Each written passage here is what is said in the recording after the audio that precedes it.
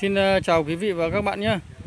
Thì ờ, thực hư về giá chó mông cộc như nào và trong ờ, thời gian ờ, một hai ngày vừa rồi giá chó mông cộc đã được các chuyên gia yêu thích chó là mua với giá rất cao. Và đây như các bạn biết này, hôm nay mình xin chia sẻ một chú chó mông cộc vàng tuyền. Con này thì ờ, nó đang có giá là 45 triệu nhé các bạn nhé. Ở đây là chú ờ, chủ của con chó. nào vâng ngồi xuống đấy ngồi Con này thì đã được tập lệnh rồi. nào nằm nằm á nằm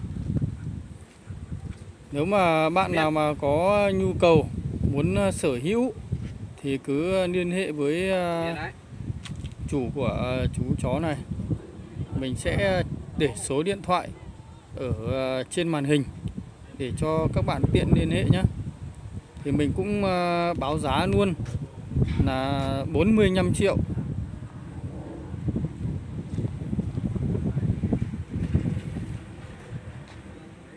chân tay đầu thủ rất đẹp.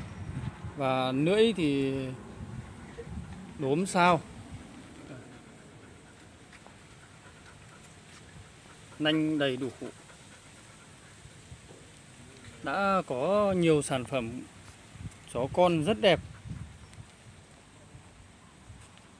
Cái này cái nào nhau yên đấy. Yên.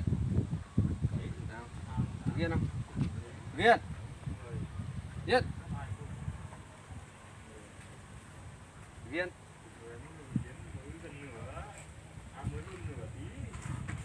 Đợt vừa em toàn phải mua cái lợn Biết đấy. gần bán đấy.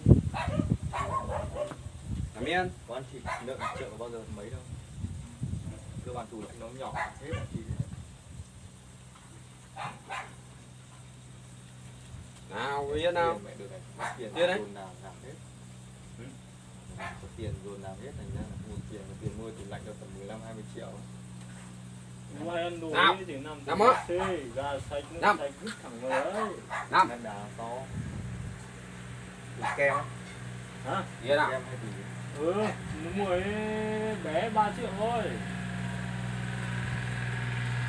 Có mình ờ, xin ờ, nhắc lại là nếu các bạn muốn ờ, sở hữu chú chó mông cộc này thì sẽ liên hệ với số điện thoại mình để trên màn hình giá là 45 triệu nhé các bạn nhé